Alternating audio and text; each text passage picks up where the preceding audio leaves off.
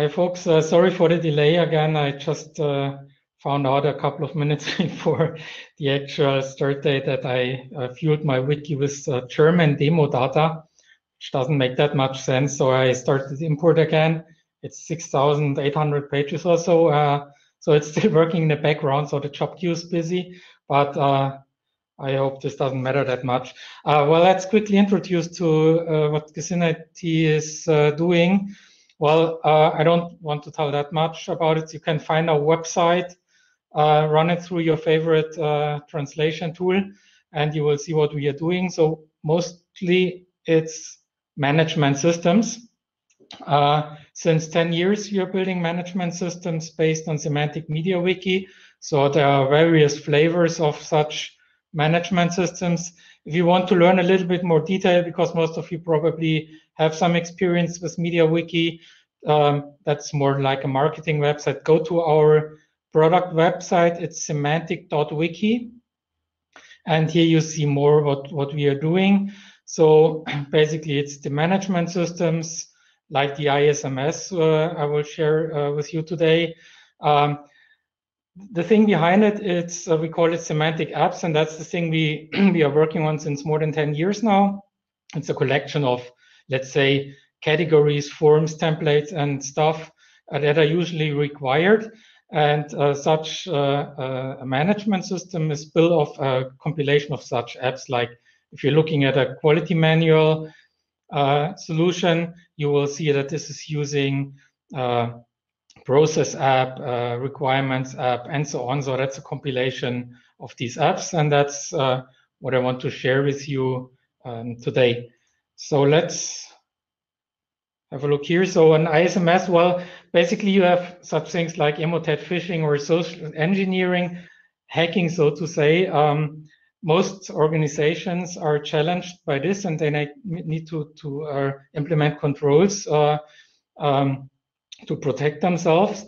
And on the other hand, we have digital transformation, cloud service, home office, bring your own device and these kind of things. And uh, well, to get this all together, it's important um, that you take care about IT security and uh, you have to do it in a proper way, but uh, where and how to start. So if you're an IT professional, you probably uh, have heard already about an uh, ISMS.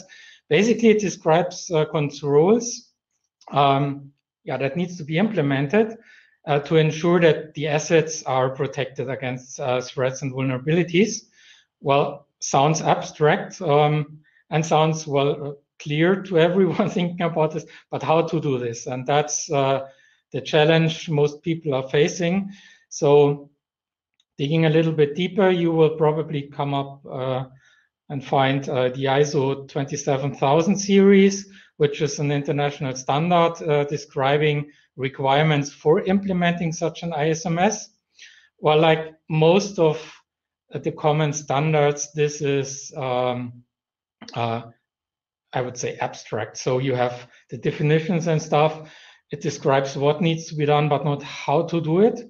Um, on the other hand, it makes sense because uh, every organization is uh, different. So uh, you need to implement your own solution. Uh, so you get an idea, but it's still very abstract. On the other hand, uh, especially in the German speaking area and in Europe, we have something that's called IT Grundschutz. So it's some kind of a baseline protection guide. And it's also a standard, uh, it's the BSI 200X series. And this IT Grundschutz is also available uh, in, in, English language. And the advantage compared to the uh, 27,000, it's more into details uh, how to how to implement uh, such an such an ISMS. And today I want to take a closer look uh, at the IT Grundschutz um, regulation. Um, while the main objective uh, of, of uh, IT Grundschutz is to reduce the expense of information security process.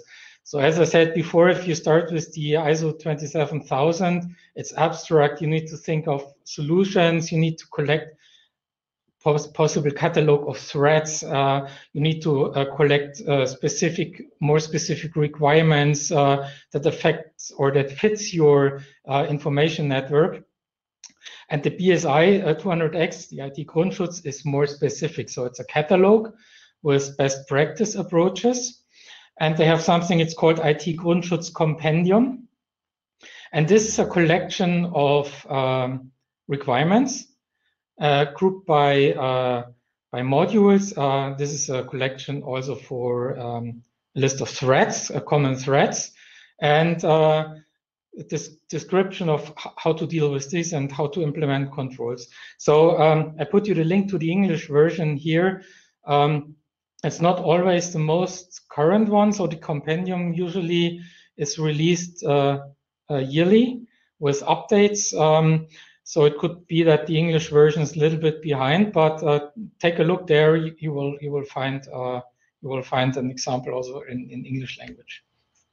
So on the BSI Grundschutz webpage, uh, you will find uh, that tile, and if you click on that, you get to the details page.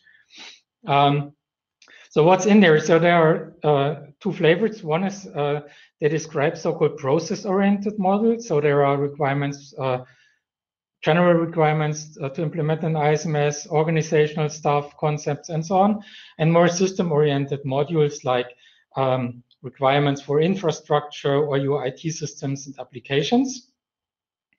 And this looks like uh, the example I show you here, like uh, the SYS 1.1, which is a general server. You have a description, what what's meant by this, and so on. And if you scroll down a little bit in this um, section of IT Grundschutz, you, you come to a list of requirements like the one I highlighted here, SYS uh, 11A1. Servers must be operated at locations that may, and so on and so on. So ha you have a huge set of really nice and complete requirements. It's um, really uh, hundreds. so it's it's a lot of text there, uh, and that's the nice thing about it. It's really very specific and a good starting point. So why am you telling this? Because well, this document, this uh, compendium has around 800 pages.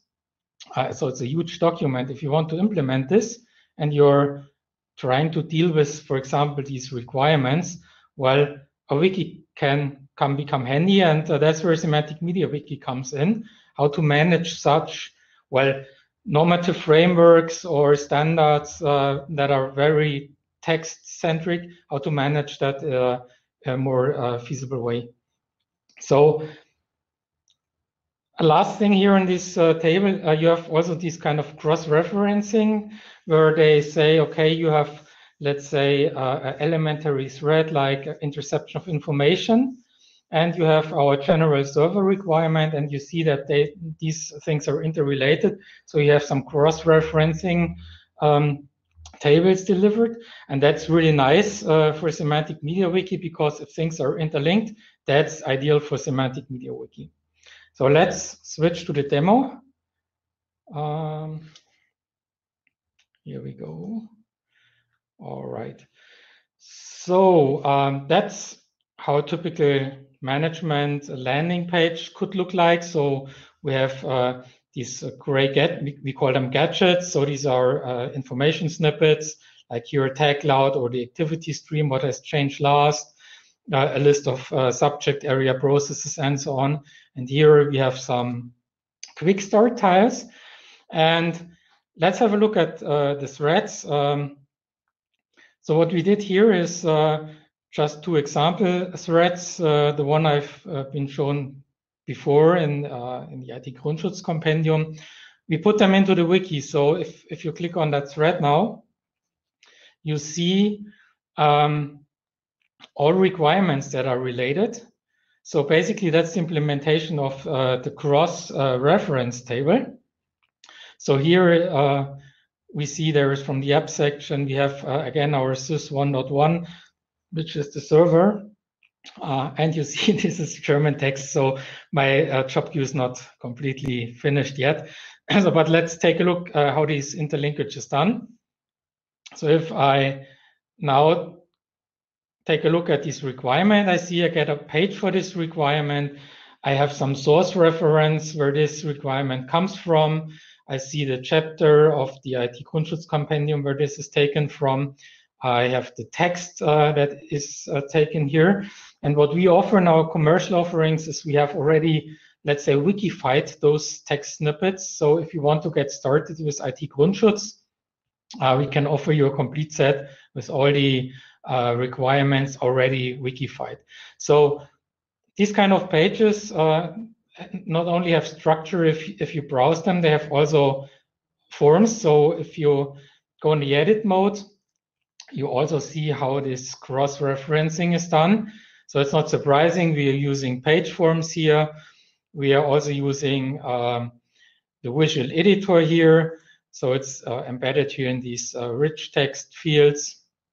Uh, and here you can say, okay, for example, for this, um, this requirement is cross-referenced with this thread. And of course, you can pick the other threads here and combine them. And uh, so these relations are then um, stored for you. But that's, as I said, uh, you can have some predefined sets for this as well. So the good thing is now you can you can work with uh, these requirements. For example, if uh, if you have this requirement uh, and you're working in a wiki style and you have some some questions or some comments, you can just do this inline, enter some unclear section. So this is just the uh, comment stream stuff. So you can enter something here. So you can work in a wiki style, a wiki style way instead of yeah, having a huge uh, Word uh, document monster that is stored somewhere on a server. You can really collaborate on these things. You can attach files to this requirement. You can track your issues. You can evaluate the requirements in internal audits and all of this stuff. And that's basically a combination and uh, uh, usage of what I've shown you in our uh, yeah, app catalog here on our website. If if you take a look at these apps, all of these things are interrelated here. So you have the files, you have uh, the, the risks, you have all these things and that's brought together here uh, in our system. So now that you have the requirements, uh, let's uh, take a look how, how to use them. Um, go back to the main page. So let's say we have, uh, well, our information network and part of our information network, we have uh, bare bone servers, so uh, bare metal servers so we have something it's called product category, and you can create your own product categories here. So for example, we have application software created, bare metal server, hypervisor operating system. And if I take a look here at the bare metal server, I now have a relation uh, to a risk assessment. So I can say, okay, um, I, I, want to to check out what's what's important uh, threats for such such a thing. And uh, I know that, for example, this is a server. It's not a software; it's a server, so it's an IT system. So I can really go in there and pick from the list of threats we have here, and say, okay, we want to address this one here, and uh, it's not an application; it's a server. So we pick those items here. And then we say, okay, what's the financial impact? Okay, if this server is treated, for example, uh, or affected by a vulnerability, then this has a high impact.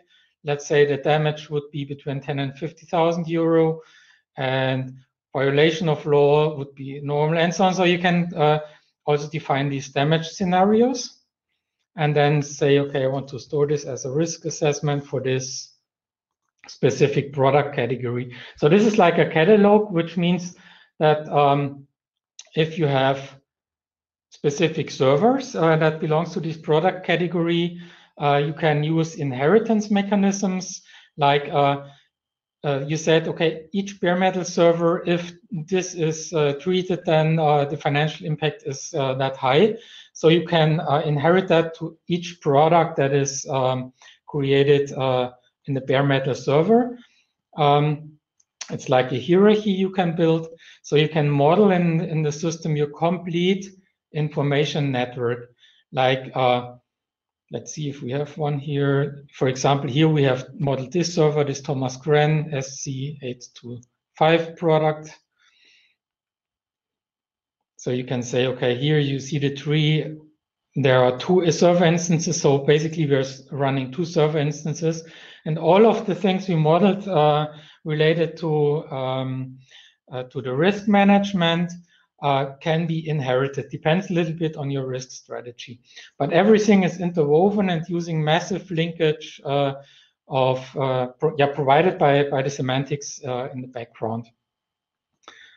So let's go back to the start page and let me share one thing. I think we have 10 minutes left. Let me share one more thing like uh, the demo scenarios we've already seen. So it's very open. You can define your, your uh, own ones here. And here we have these definitions like uh, for the financial impact and so on. So we have a demo scenario for this one. And here are our definitions like uh, for financial impact, uh, if we say the damage category is normal, then it's uh, less than 10,000 euro. If it's high, then it's between 10 and 50 and so on. So you can create your own structures and so on. So based on, for example, a guideline like, uh, like IT Grundschutz. So um, yeah, that's basically it. Um, we only have 20 minutes. So usually if, if we take a closer look, um, we have uh, webinars and share with uh, with our uh, our our interested parties. So it, this takes usually 45 minutes to 60 minutes. We have only 20 minutes. So you see, there's a lot of more things in there. So if you want to see more, just let me know afterwards. Richard, I'm taking a look at the watch. So 10 minutes left for discussion. I think. Yes, we have 10 minutes. Um, thank you very much. Uh, it's very instructive um, to see um, those templates and tags um, coming from from uh, from a practical background. And this is what I said um, already this morning. Um, so uh, all those uh, templates become very valuable if they uh, went already through some companies, and then you get exactly that what you need and what fits for the most of the other uh, companies as well. Um, so. Yeah, the thing here is, uh, Richard, this is really tricky because the things become complex. Mm. Like uh, we started collecting, let's say this, let's say it's best practice, uh, more than 10 years ago. Um, and in the meanwhile, if, if we, uh, so we, we do not program forms anymore or templates, we, we create uh, descriptions. Uh, so it's really a low coding approach. Mm.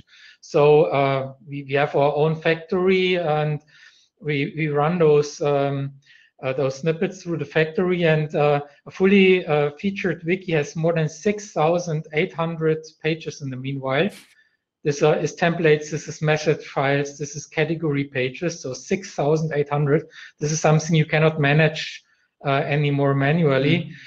So that that's quite complex. Um, uh, so that's the reason why this is uh, well a different way of treating them. Just having the template is usually not sufficient. And as you said, uh, well, not each other. Uh, every customer has its own way of doing things and naming conventions and so on. So, well, of course, you can collect ideas, but uh, probably, uh, yeah, each company has its own footprint. Yeah. Uh, it becomes Michael has some question here. Can I get a list of uh, fulfilled requirements? Uh, well, basically there is um, uh, the, the IT Grundschutz is published. So this is a complete set of all the requirements. You can uh, you can take it from uh, from the links uh, I shared in the slides. I can also add them maybe on the conference page. So it's really a huge collection of not only the threads, but more important, the requirements and these are available in German and English, so you can get them there. Um, and the other question you had is, if I understand, uh, I get a list. No, uh, if I understand, I can get a certification for ISO 27000. Well, if you want to get certified against the standard, you need to prove that uh, you're implementing the requirements. And that's exactly what we help uh, our customers with our management systems. It's, let's say, the documentation of what you're doing in the company, uh, and uh, then you get certified. Let's uh, say you have 100 uh, of, uh, of requirements in ISO 9001 or 7, uh, 27000, then you need to prove that you have implemented all the controls and measures. And a few mechanisms Richard already shared in his morning talk was like, you need to have an approval process, of course, you need to have um, approval workflows, you need to have mechanisms that are already in, uh, in in standard media wiki, like the tracking of changes and so on. But if you're in a regulated context and you want to have want to become certified, you need yeah to fulfill all the requirements there. So it's not only content; it's also the framework. Yeah. Mm -hmm. So I hope this answered the question. Um, can you? Uh, then I have another one. We have six minutes. David is asking, can you describe your packaging approach uh, for the semantic packs? Well, it's uh, the, the lowest layer is the apps. So an app, so to say, is uh, a category, uh, usually a namespace, uh, a template, and a form, um, and of course the properties. Uh, that's usually what we, we, call app. For example, you have an app to manage a person, you have an app for managing uh, an organization, you have an app for a process, for a project, for meeting minutes, and so on. So that's like Lego building block. And the packs approach is like, uh, yeah, getting this mixed together in a wording that is known by people. So if, if I go to the market and say, hey, we are doing great semantic media wikis, well, probably someone searching for me, wikis is finding us. Uh, but our approach is we are offering, let's say, ISMS, or we are offering IT service management, or we are offering contact management. So these are the common terms people are using uh, to find uh, solutions. And then we are one of the solution providers. So we are not competing against, let's say, other wikis. We are more competing like other business solutions. Um, so that's basically the idea behind the packs. It's more like a branding and a collection of, uh, of various uh, uh, apps. So this answered the question. You see, I don't see more right. questions at the moment. So more into the technical details. Okay. The packs works. Okay. Oh, now we need one. How the packs, uh, so the, uh, well, what, what we've seen uh, in, in the demo was, uh, let's say, a fully featured wiki. So with a lot of uh, packs uh, in, included. So not sure what you mean by, by technique uh, means. So basically it's, it's creating, what I can share is like, uh, let's say, oh no, I'm not sharing anymore. But that's really briefly uh, because I am running out of time. Uh, let me see, quickly share again. Um, so what we see now is basically uh, the definition of uh, of such an uh, app. So there's a model like a thread. One second. And the thread is this, so this is YAML files. Uh, these are descri uh, described in uh, YAML language. So we say we want to have a form. It's also called thread. We want to have a category created for it. So there are some items. It's uh, that's the field of a thread. It's a title and a sort key. And if I go back to my wiki, go to thread, I open one of those and I add a new thread, for example, you will see the model uh, we've seen here. And that's, that's exactly this model. So it has two fields, title and sort key, and that's created from that definition and so on. So in the form for a thread, I say I want to have the model thread, that's this one. I want also to have source references model, this is this one. And of course, we want to have our meta model, is this one. So it's like, like a building block. And that's how we te technically creating this. And uh, the factory in the background here uh, in our office is creating wiki pages uh, based on that uh, definitions that's basically it. And that's uh, the way we are we are creating those kind of wikis and packs. No, it's not uh, the it's not an open uh, framework. This is something specific to our environment. So this is nothing you can get somewhere.